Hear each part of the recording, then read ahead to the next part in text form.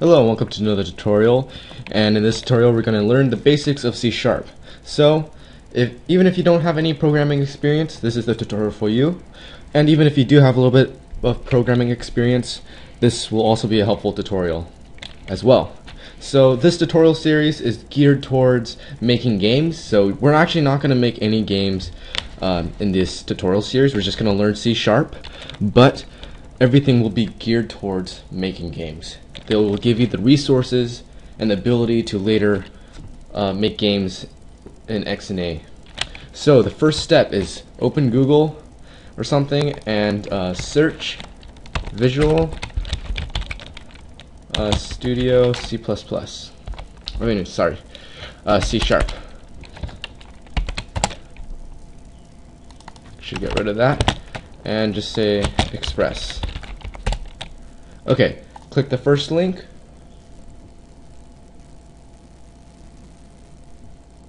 Click 2010 Express products. See download details. Click Visual C Sharp 2010 Express Edition. Choose whatever language you want it in and press install now. I'm not going to do that because I already have it installed. So just I'm just going to exit out and start. I'm going to make a new project. I'm going to create a console application and I'm going to name this uh, my first program. Okay, so when we create this project, we have it already generates some code for us. Um, right now, you don't have to worry about most of this stuff. Uh, what? Okay, I'm first going to start with the things on top. Uh, these basically mean it's going to use all these tools and you're going to be able to use everything from these uh, libraries basically.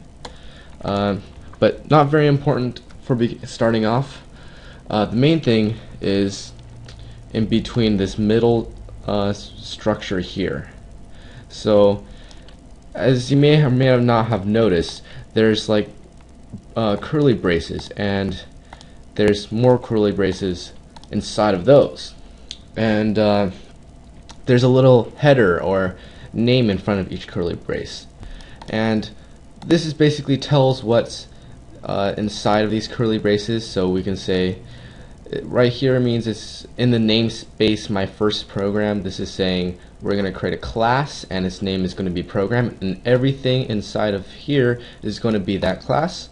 And this is the main function. In every C-sharp application, you're going to have one main function, and it has to look like this to run.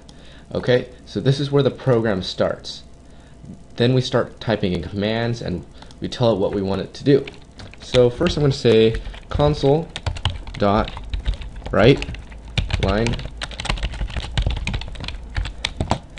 uh, let's see welcome to our first game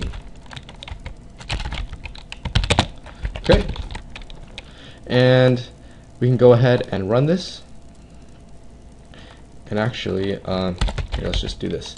Console. As you can see, it just played and then exited.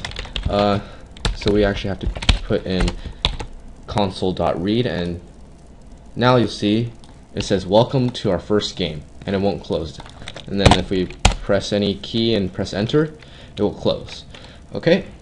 So what this is basically doing is telling our console, which is basically this little black screen right here, to print out our text right here, welcome to our first game, and this line is basically saying, okay, read the user input now.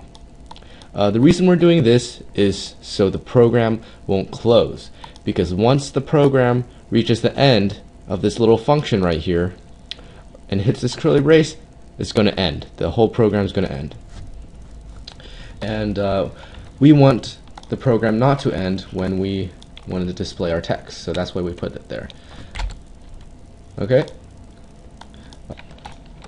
Okay, so this is the end of the first tutorial. I'm going to keep these sort of short because I want you guys to learn one thing in each tutorial so you don't go away um, with a cliffhanger or anything like that. So Uh, in this tutorial, you successfully learned how to download the uh, Visual Studio 2010 Express, uh, and you successfully wrote some text to your console and ran your program.